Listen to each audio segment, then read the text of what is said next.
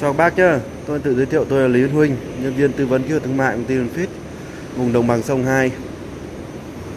À, nay thế tôi sẽ giới thiệu với các bác, các anh chị và các bạn là cái uh, cách ờ, đuổi heo nái chửa lên chuồng bầu, các trên chuồng đẻ các bác nhé. À, ờ, khi heo nái chửa được uh, chửa còn cách ngày đẻ là 7 ngày một tuần nữa thì mình sẽ uh, đuổi lên ngày đuổi lên chuồng đẻ các bác ạ. Và trước khi đuổi lên chuồng đẻ thì đây các bác, đây ô chuồng người ta chuẩn bị kỹ hết rồi.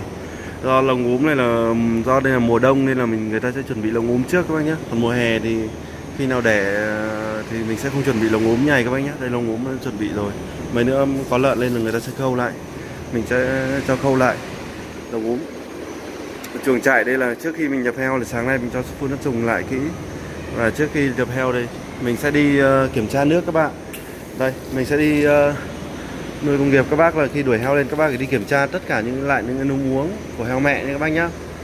Vì là nếu mà mình không đi kiểm tra ấy, thì mình đuổi lên thì vô tình nó sẽ uh, cái núm nào mà nó bị tắc ấy thì vô tình nó sẽ dẫn đến là con heo mẹ bỏ ăn. Mà cái hiện tượng mà cái trường hợp mà heo gần đẻ mà nó bỏ ăn đó là rất là nguy hiểm các bác ạ. Đây tôi đang đi kiểm tra nước uống từng núm từng núm từng núm một các bác nhá.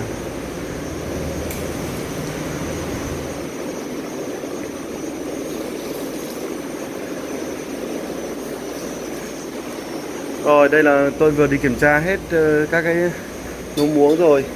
Thì có cậu em, cậu ấy đang đi đánh dấu ở heo bên trùng bầu Thì tôi sang đấy quay cho các bác xem nhé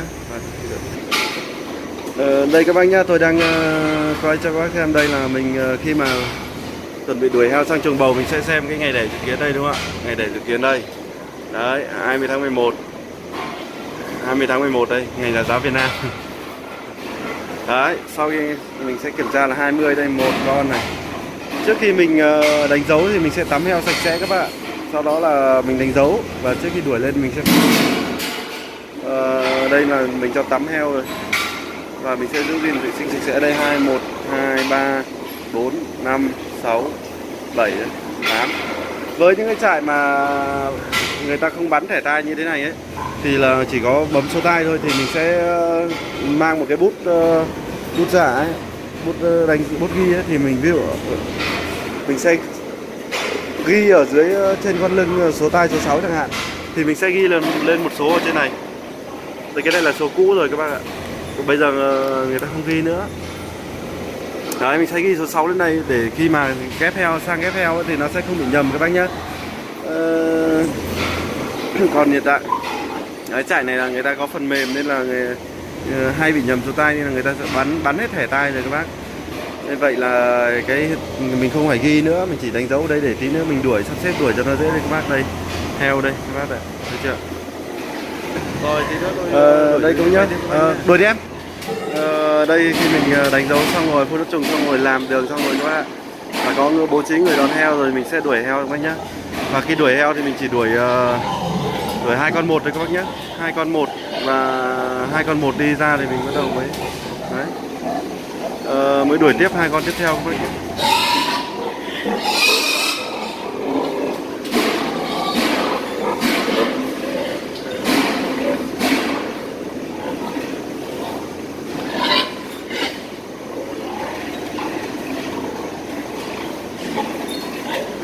khi các bác đuổi heo là các bác phải chú ý nhẹ nhàng các bác nhé heo bầu là các bác phải hết sức nhẹ nhàng.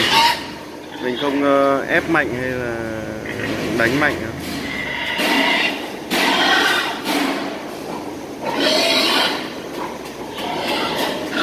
có quay được không? Không quay thì cho nó vào ô để nói.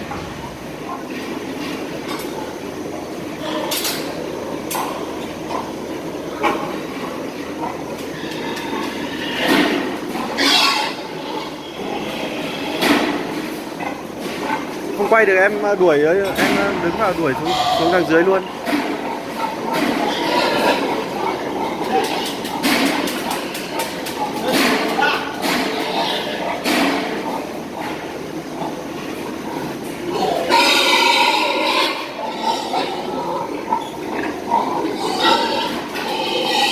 Con này là đuổi đi đuổi đi.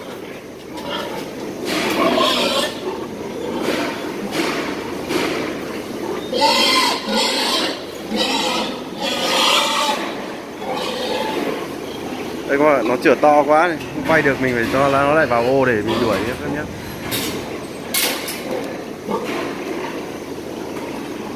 Rồi, đuổi heo đâu thì mình cầm thẻ đấy các bác nhá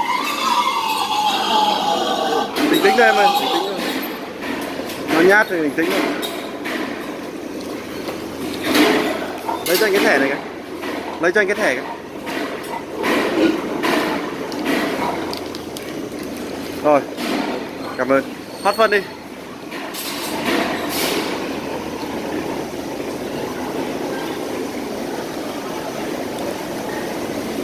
Đây các bạn, đuổi, mình đuổi đi nhẹ nhàng thôi các bác.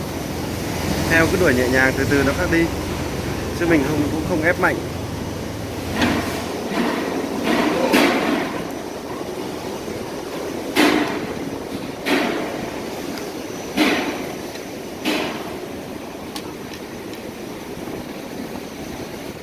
Đây mình phải làm đường kỹ các bác nhá.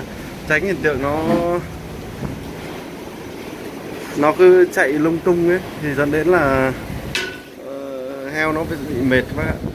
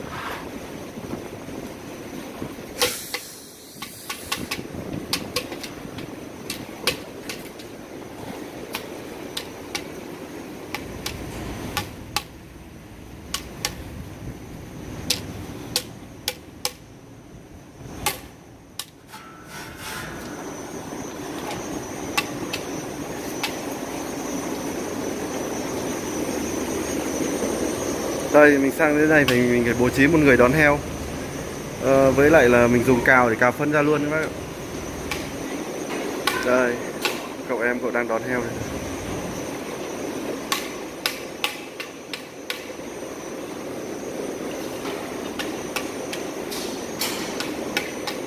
em đứng chéo chéo xuống đây. Không nó lại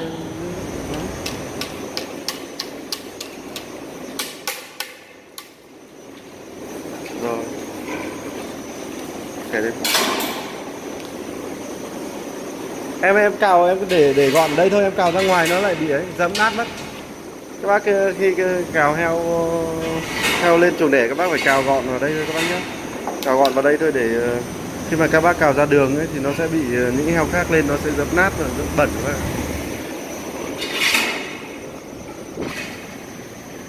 đây mình cứ hai con một thế này thôi các bác nhá đây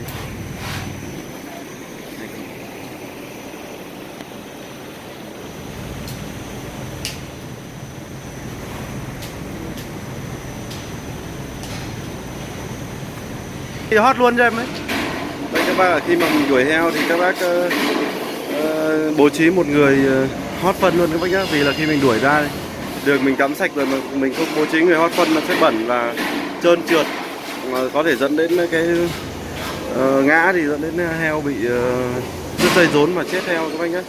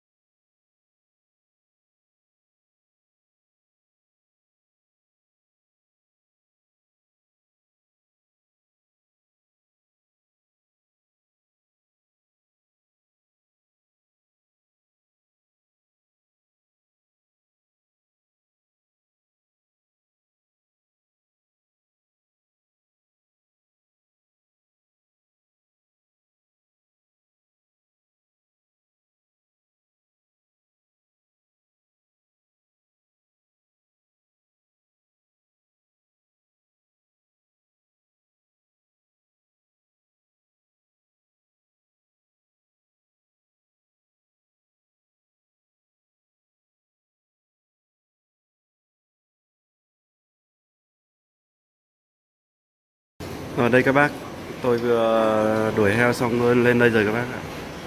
Đây. Quay cho một lần nữa các bác xem nhé. Đấy như vậy thì tôi ờ, nhắc lại nhé, quy trình ờ, đuổi heo lên là mình sẽ theo dõi thẻ ở trường bầu trước ngày để 10 10 ngày hoặc 7 ngày tùy thường trại nhé. Trại mình dùng silo nên là nên là mình bên chuồng bầu mình chỉ ăn được cắm chửa thôi nên là mình sẽ chuyển 10 ngày. Các bạn uh, trước 10 ngày như chạy các bác dùng tra tay thì mình trước 7 ngày mình sẽ, sẽ chuyển uh, heo các bác nhé.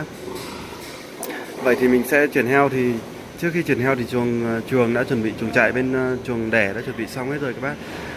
Chuồng đẻ chuẩn bị xong hết rồi thì mình uh, sẽ cho một người đi kiểm tra lại đường nước uống. Sau đó là bên chuồng bầu thì sẽ cho người đến đánh dấu. Đánh dấu rồi uh, tắm rồi phun nước trùng. Rồi sau đó sẽ tiến hành ờ, làm đường và đuổi heo.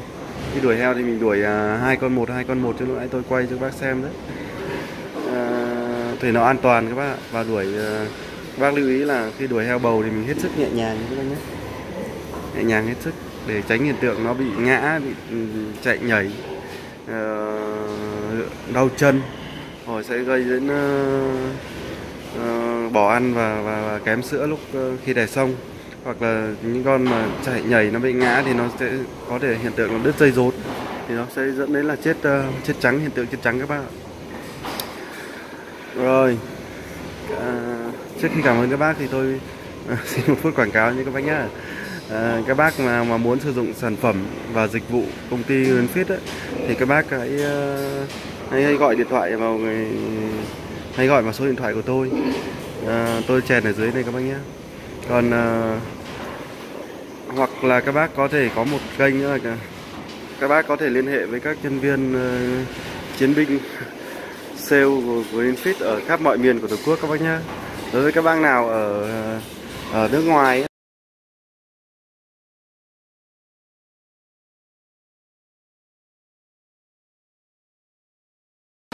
Campuchia và tới là Lào ấy, thì các bác uh, có thể liên hệ với chiến binh ờ, sale của Greenfit ở các nước đó các bác nhé. Rồi, uh, hoặc là bác nào ở gần nhà máy, các nhà máy của công ty uh, đóng giữ thì các uh, uh, các nhà máy ở khu công nghiệp ấy, thì các bác có ở gần đấy thì các bác có thể đến trực tiếp liên hệ trực tiếp với lại nhân viên ở đó để được uh, tư vấn thêm. Rồi, Tôi xin uh, uh, chân thành cảm ơn các bác đã xem video của tôi. Uh, các bác nếu mà các bác thấy video của tôi hay uh, có ý nghĩa thì các bác hãy uh, cho tôi một like, uh, một share và một subscribe uh, đăng ký ủng hộ kênh Hàng Việt các bác nhé. Uh, chào tạm biệt các bác và hẹn gặp lại các bác ở những video sau nữa. Chúc các bác chăn nuôi thành công nhé. Bye bye.